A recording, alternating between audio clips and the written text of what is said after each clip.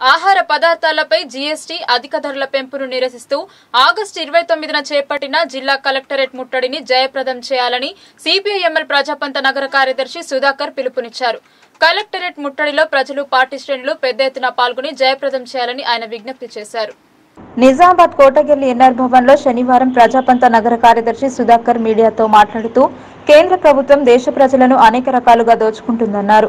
Petrol diesel gas ధరలను విపరీతంగా పెంచిన మోడీ ప్రభుత్వం ఆహార పదార్థాలపై కూడా జీఎస్టీలు వేసి ప్రజలను అడ్డవిరుస్తుందన్నారు. ఈ ధరల పెరుగుదల కేంద్ర రాష్ట్ర ప్రభుత్వాల ప్రజా వ్యతిరేక విధానాలను నిరసిస్తూ ఈ నెల ఇరవై తొమ్మిదిన రాష్ట్ర వ్యాప్తంగా జిల్లా కలెక్టరేట్ల ముట్టడిని చేపట్టాలని పార్టీ ప్లీనం తీర్మానించిందన్నారు.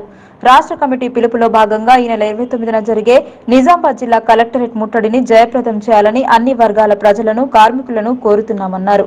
రెండు వేల పద్నాలుగులో మోడీ ప్రభుత్వం అధికారంలోకి వచ్చిన తర్వాత అనేక రకాల ప్రజా వ్యతిరేక విధానాలను తీసుకొచ్చింది. ముఖ్యంగా నిత్యావసర వస్తువుల ధరలను విపరీతంగా పెంచేసింది. పెట్రోల్ డీజిల్ గ్యాస్ ధరలను రెట్టింపు కంటే ఎక్కువ చేసింది.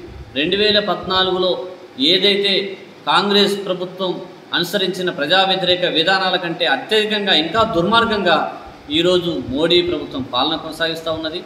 చివరికి ఆహారం పైన తినే ఆహారం మీద పాలు చిన్నపిల్లల ఉత్పత్తుల మీద కూడా ఈరోజు జిఎస్టీ పేరుతోని అధికంగా ఇవాళ ప్రజల్ని దోచుకుంటా ఉన్నది.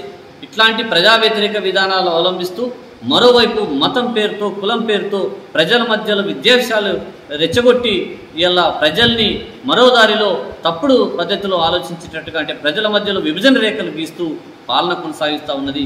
ఈ కేంద్ర రాష్ట్ర ప్రభుత్వాల ప్రజా వ్యతిరేక విధానాలు నిరసించాలని చెప్పేసి ఈ నెల ఇరవై తొమ్మిదిన ఈ రాష్ట్ర కేంద్ర ప్రభుత్వాల ప్రజా వ్యతిరేక విధానాలు నిరసిస్తూ జిల్లా కలెక్టరేట్లను ముట్టడించాలని చెప్పేసి సిపిఐఎంఎల్ ప్రజాపంత రాష్ట్ర కమిటీ పిలుపునిచ్చింది. ఆ పిలుపులో భాగంగానే ఈ నెల ఇరవై తొమ్మిదిన నిజామాబాద్ జిల్లా కలెక్టరేట్ని సిపిఐఎంఎల్ ప్రజాపంత పార్టీ ఆధ్వర్యంలో నాయకత్వాన జయప్ర నిర్వహించబోతా ఉన్నాం. కాబట్టి ఈ పిలుపును జయప్రదం చేయాలని చెప్పేసి జిల్లా ప్రజానీకానికి ముఖ్యంగా నిజామాబాద్ నగరంలో ఉన్నటువంటి